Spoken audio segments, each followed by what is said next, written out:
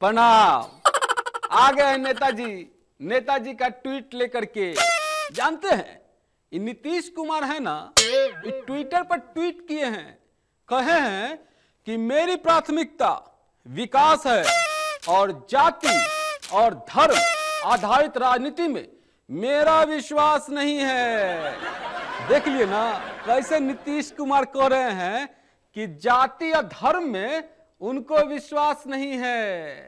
वो विकास को आगे लेकर चलना चाहते हैं, विकास के साथ चलना चाहते हैं। हमको एगो बात बताइए नीतीश जी, जब आप विकास को साथ लेकर चलना चाहते हैं तो ये जाति का कार्ड, धर्म का कार्ड काहे खेल रहे हैं।